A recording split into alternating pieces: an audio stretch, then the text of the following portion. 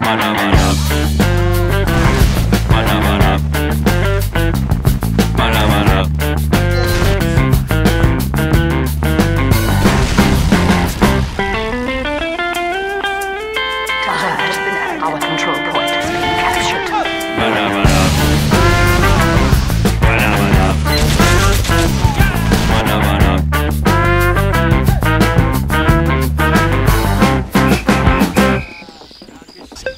for some of you blokes.